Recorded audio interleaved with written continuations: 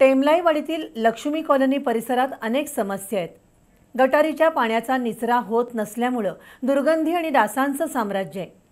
वेळेवर कचरा उठाव आणि रस्ते सफाई होत नाही पिण्याचं पाणी पुरेसं मिळत नाही त्यामुळं वैतागलेल्या नागरिकांनी रस्ता आणि गटारीचं सुरू असलेलं काम बंद पाडलं. कोल्हापुरातील टेमलाईवाडी प्रभागातील लक्ष्मी कॉलनीमध्ये अनेक नागरी सुविधांचा अभाव आहे. रस्ता व्यवस्थित नाही की सार्वजनिक स्वच्छता नाही.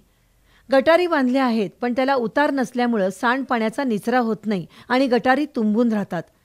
गटारीची सफाई होत नसल्यामुळं संपूर्ण परिसरात दुर्गंधी पसरली आहे तर डासांमुळं अनेक नागरिक आजारी पडत आहेत या भागात पिण्याच्या पाण्याचाही पुरेसा पुरवठा होत नाही.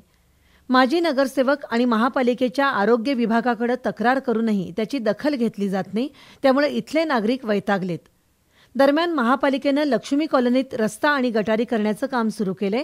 पण अगोदर स्वच्छतेचा आणि पिण्याच्या पाण्याचा प्रश्न निकाली काढावा मगच रस्ता आणि गटारीची कामं करावीत असं सांगत नागरिकांनी रस्त्याचं काम बंद पाडलं.